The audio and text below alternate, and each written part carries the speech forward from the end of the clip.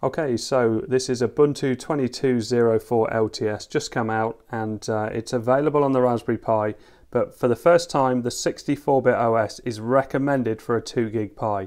I'm currently running on my 8 gig Pi and I'm using an SSD drive, uh, but the reason this can be recommended for a 2 gig Pi is because it uses ZSwap, which is a very clever usage of RAM. So I figured I'd try it on my 1 gig Pi 4. So I haven't done anything to it, haven't overclocked or anything like that. Uh, so let's shut this one down and let's swap it all over. Ubuntu definitely shuts down quicker than it used to. It used to take ages. And I'm going to pop my Pimoroni fan shim on it just in case I do any overclocking. And let's switch on. My Pimoroni fan shim doesn't work at all now unless I put this little SD card adapter in between. Now it's spinning up. Okay, so let's log in. Okay, so I was going to do this in real time, but uh, it's taken ages to log in. I don't know why it's struggling at this point. Hope it's doing something. Okay, so that took quite a while. Uh, so let's have a look. Let's open a few things up and have a look and see how well it performs. Now, it's usually the web browser that trips things up, so I'm going to leave that for a second and just open Files. Uh, we'll open LibreOffice Writer and maybe the App Store and see what happens. So nothing's appeared on screen at the moment. I'll try and leave this bit in real time. Oh, my mouse has stopped working. I'm moving my mouse pointer and as you can see there's big gaps left behind. It's coming back. So there's the files. But remember I've got two more things. Uh, so there's LibreOffice trying to, trying to open up. And I have opened LibreOffice once before because I did this just now, but it, it did take a while so I figured I'd do it again. Uh, yeah, the mouse pointer is just stopping completely. And I didn't have that at all on my 8 gig Pi. Um, so it is definitely a RAM thing that's that's oh, it really is just horrible to use. Yeah, I'm going to abandon this bit. Well, let's wait for the App Store to come up. Is the App Store going to come up? I've been waiting quite a while and it's still not even showing. My mouse pointer is back. Oh, there you go. It's got a little dot beside it. So maybe this is it trying to manage uh, on the low amounts of RAM. Oh, the App Store's come up and is all right now.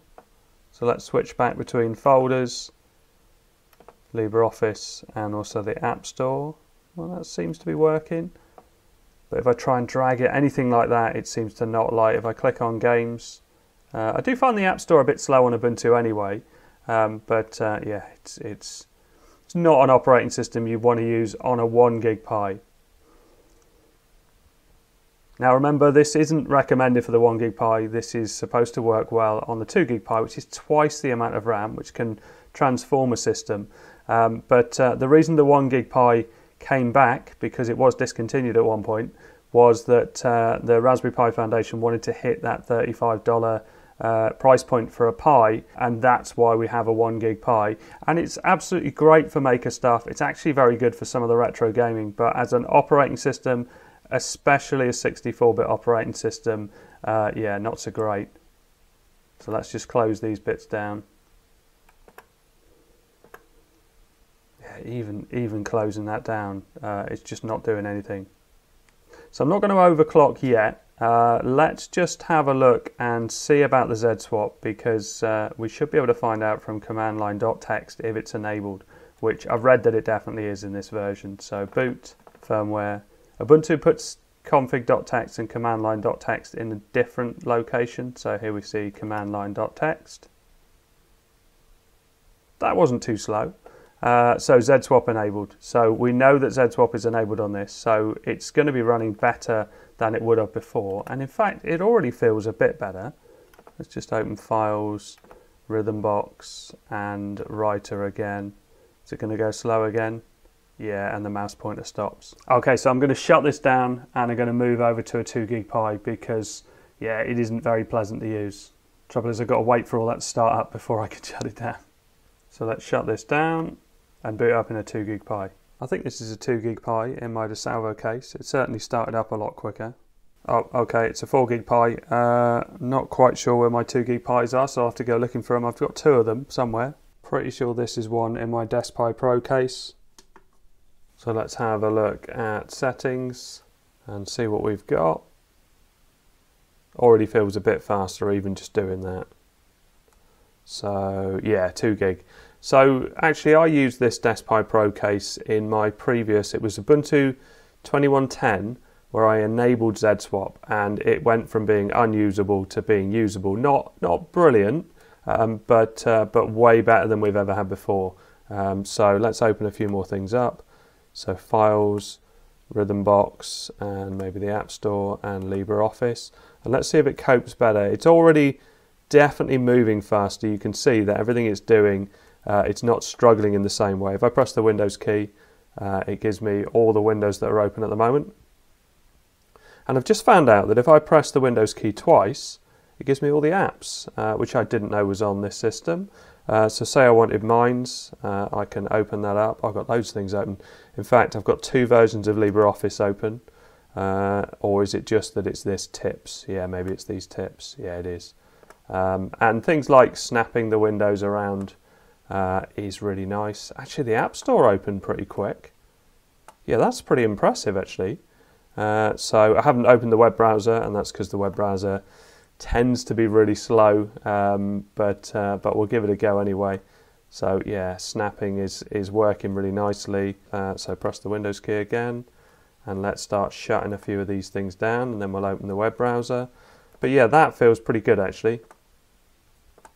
So I'm going to leave uh, LibreOffice Writer open and I'm going to open Firefox and see what happens.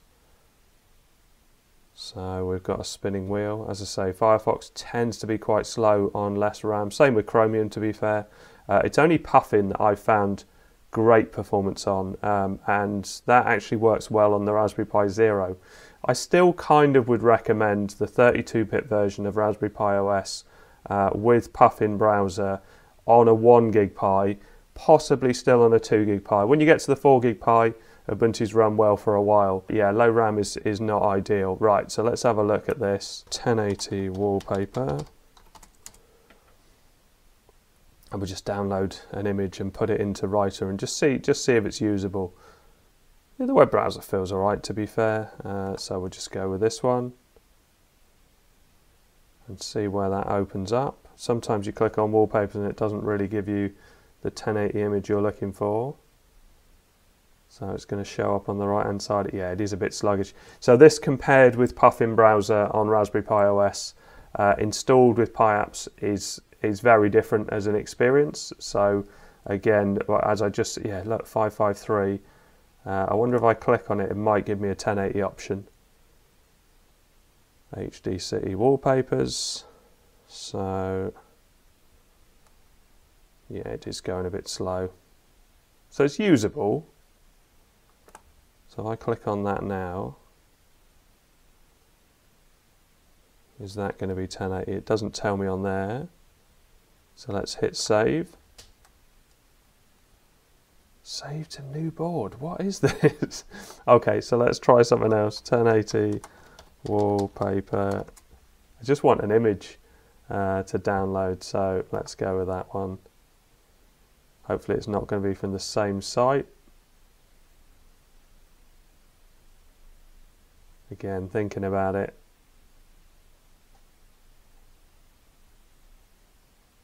Okay, so it's not 1080, but I'm just going to download that one anyway. I'll just save that. Uh, so save image as. Still waiting. I'll do this in real time. You probably hear my cat in the background. So let's go for, oh, and we have a, and my mouse is frozen. Okay, I think it's I think it's frozen. Let's hit enter. Okay, no, it has frozen. So um, I don't know why that's frozen. Okay, so Firefox crashed. Okay, so web browser performance still not great, and uh, yeah, my mouse my mouse pointer is still not working. Okay, so I've restarted, and uh, but I think I'm going to switch from doing 2 gig Ubuntu because I already did 2110 and uh, I found it was okay. I didn't have those crashes before, but uh, this was currently running from an SSD drive. Just as a comparison, I'm going to run Raspberry Pi OS 32-bit from an SD card, so considerably slower storage. Back in my 1 gig Pi 4, because I'm confident this will run pretty well because it runs well in a Pi Zero 2W. I'm running at a lower desktop resolution, it's 720, and I've also installed ZRAM and also the Puffin browser. So really this is the sort of operating system you should be running on a 1 gig Pi 4 and maybe even a 2 gig Pi 4 as well. So let's open a few things up. So folder, uh, terminal, Puffin browser, PiKISS, text editor, and you can see, I don't know what happens if I press the Windows key, I don't think it does anything. Now it just comes up with uh, system tools, so say I'll start gparted as well. But you can see that, uh, I'll just log into this, you can see that everything comes up really quite snappy, so all the icons that are here, folder, terminal, puffin, it just is really snappy and really fast to use. And even if I leave things, oh that's wrong password, so it's probably Raspberry, I probably haven't changed it on this system. Oh no, I don't know what it is on that one then. So let's leave that one. Uh, so if I go back to uh, Puffin browser and just to show how responsive Puffin browser is. Uh, so this is cloud-based uh, and that's why uh, it doesn't use very much resources and it just works really snappily. So let's go on this one and we'll try uh, BBC Sport and then Hot UK Deals. and it is just just a pleasure to use it. it considering this is on such low hardware specs, uh, it, it copes really really well and feels really snappy. Uh, and just switching back between things, you can see that it's not struggling at all there.